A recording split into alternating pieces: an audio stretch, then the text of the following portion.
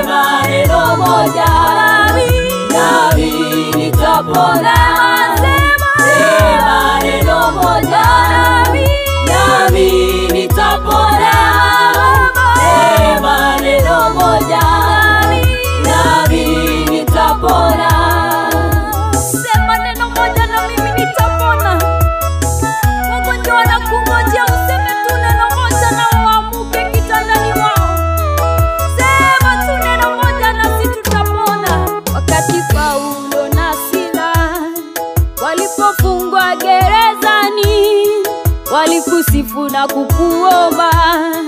Kwa imani wakakungoja, uliwafungulia milango. Gerezani kukatingika na minyororo ikakatika, nguvu zako zilitumika, wafungwa nao wanakungoja.